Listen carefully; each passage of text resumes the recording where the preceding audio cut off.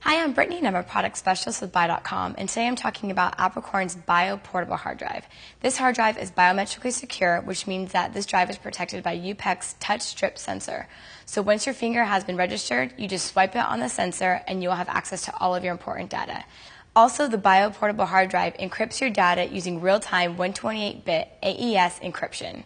And for even more protection, this drive comes with a password bank, which enables you to access your accounts and website logins with just the swipe of your finger. And what I think is the best part is the fact that all these great features are packed into a portable hard drive. It's very lightweight and compact, so it's perfect for people who are always on the go but need a lot of protection for the data.